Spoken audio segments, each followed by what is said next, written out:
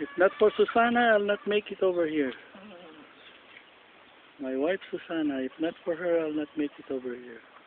She drove 20 hours back and forth, Florida to Birmingham.